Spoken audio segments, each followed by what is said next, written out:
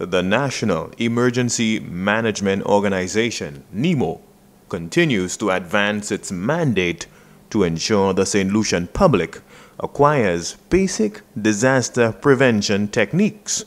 We got a call from the Bouton community asking us to help them out so that they could understand and learn um, how to deal with fires, how to deal with um, any emergencies or disasters arising out of fires. On January 28th, residents of Bouton participated in a NEMO facilitated fire prevention workshop. So we witnessing our first volunteer. Your A, you aim at the base of the fire.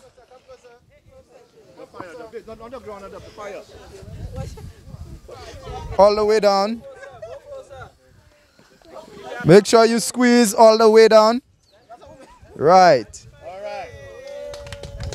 The four hour session included theoretical and practical exercises facilitated by officials from the St. Lucia Fire Service.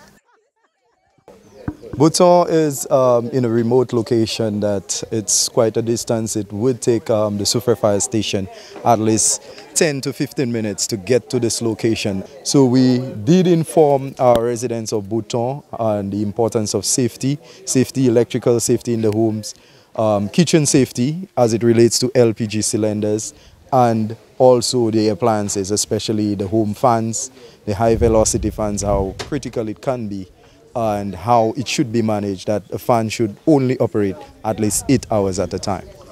The Bouton community is remotely situated. The nearest fire station is at least 8 kilometers further south in the Soufriere town. The drive up to Bouton from Soufriere town could take up to 20 minutes. The NEMO facilitated fire prevention workshop will equip Bouton residents with the basic knowledge and training needed to avert potential fire-related emergencies and disasters. I think a lot was actually relevant in, for example, um, the plugging of various devices on one port or even as simple as where we put our gas tank. I think a lot of people didn't know the proximity between the stove versus that. Um, and unfortunately, not all of our members were here. So what we can do now is take it back, empower them, and hopefully spread the word on fire safety, the importance of it, and hopefully reduce the, um, the numbers of fires that we have in the area. I think it is very important because of our distance from the town where the fire engine is. Um, I think it's six miles, six to eight miles. So, in the event of a fire, big or small, we are equipped with knowledge to at least, after we've called the fire station, to start something. Bouton is home to less than 200 permanent residents. More than 20 people, or about 10% of the Bouton population, benefited from the fire prevention workshop. All right, round of applause. Very good. There's no need to be fearful if you stick your, to your 7 to 10 feet away from the fire.